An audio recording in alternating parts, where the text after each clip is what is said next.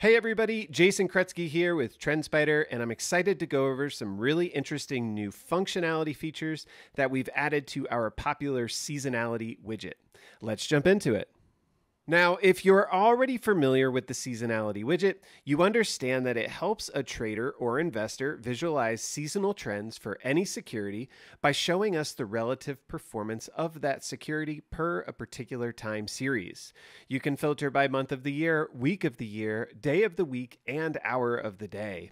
It's an incredibly useful tool for visualizing seasonal trends, and we've just made it even more powerful. Let me show you how. When you go into the seasonality widget, you will now see a new drop down menu next to the time series drop down menu. This new menu is set to change percentage greater than zero by default. Classic seasonality focuses on price changing as time goes. So if you've ever used the seasonality widget, this is the setting that's always been available. I'm going to open this up here and we're going to see all of the new settings that are available. The next two options below change percentage greater than zero show us relative volume. For those that are not familiar with relative volume, it's simply a tool that allows us to compare the current volume versus the average. If today's volume is equal to the average volume over a period of candles, then your relative volume value will be 1. If today's volume is greater than the average, it will have a relative volume value greater than 1. If it's less than the average, that relative volume value will be less than 1.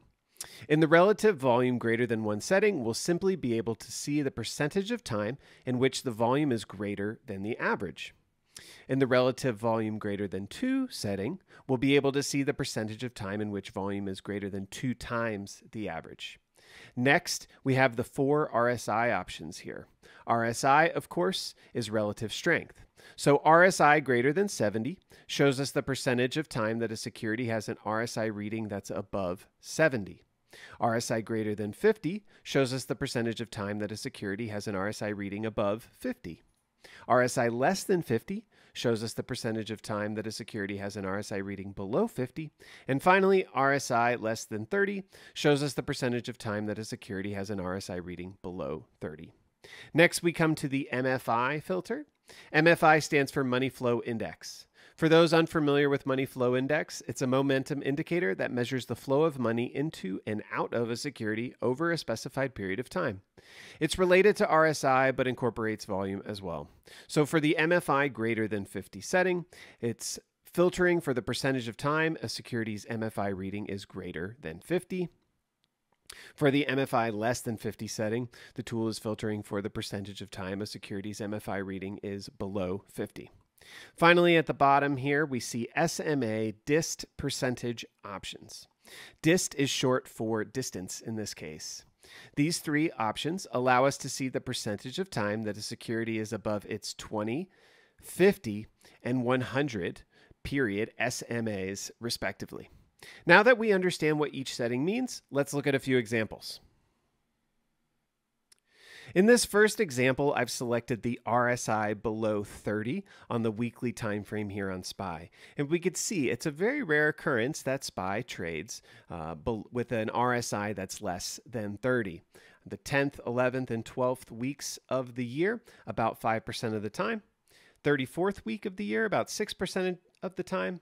And then the 40th through the 47th weeks of the year, about 6% of the time as well. Let's look at another example. We're now looking at the IBM chart, and specifically, we're looking for relative volume greater than 2 on the weekly time frame and the percentage of time that's the case. We could see that the 42nd week of the year historically has the greatest chance of seeing these uh, elevated volume levels.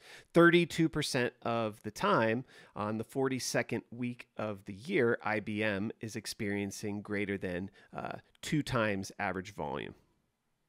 So there you have it, folks, a quick breakdown of all the new features available on the seasonality widget. We hope you find these new features helpful, and we look forward to adding even more functionality to this tool in the future. Happy trading, and we'll catch you next time.